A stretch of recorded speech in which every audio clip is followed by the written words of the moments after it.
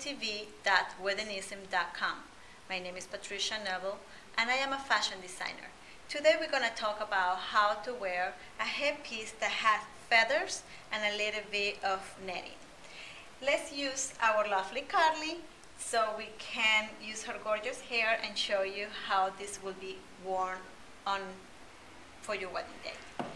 I will suggest that we will go and then hair up a little bit and so use the comb down, not up, but down, holding a little bit of the hair and using also bobby pins across the comb to secure it.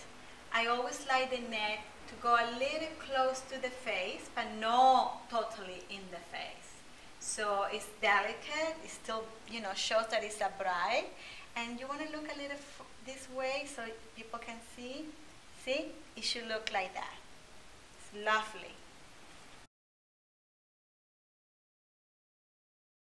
And we're going to try to wear a veil that is a double tier and is cascading and let's try on the top of the crown if you are going to have a long hair down like this so you know it will be a little more fresh and young if you do that just make sure that the comb is looking down and you go from the very front and slice it in on the hair.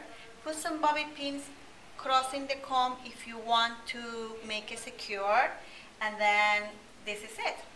Now if you want to have the veil on the back so you don't have anything in the front same with your hair you go all the way to the end of the crown and you slide it in there secure again and then it stays on the back this is the way to have a veil and of course you can use the first tier as a blusher and it will still be fine if you wear it this much in the back I hope this was useful and if you like our product and everything I just show you, please visit us at tv.weddingism.com. Thank you and until next time.